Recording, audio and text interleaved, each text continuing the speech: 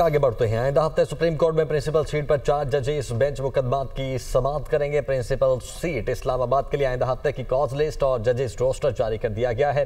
Bench one chief justice Qazi Faez Isa justice Naeem Akhtar Afghan और justice Shahid Bilal पर मुश्तमिल होगा। बेंच टू में justice Mansoor Ali Shah, justice Ayesha A Malik और justice Athar Minallah शामिल होंगे। जबकि bench three justice Aminuddin Khan और जस्टिस शाहिद वहीद पर मुश्तमिल होगा और बेंच फोर में जस्टिस जमाल मंदोखेर, जस्टिस यहिया आफरीदी और जस्टिस शहजाद मलिक शामिल होंगे।